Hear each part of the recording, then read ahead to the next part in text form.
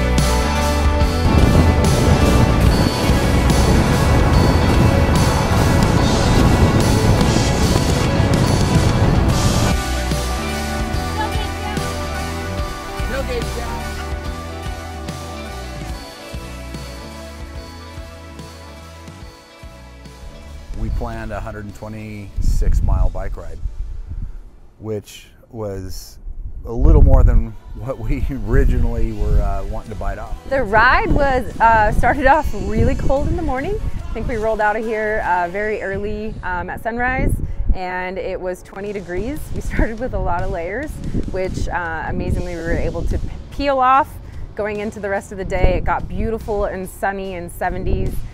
Saw a lot of buffalo and or bison today, and uh, you know had a had a good time. There's a if you're one of those Strava guys, there's a lot of KOMs on this on this loop, so uh, get a chance to do a little bit of uh, sprinting and competing.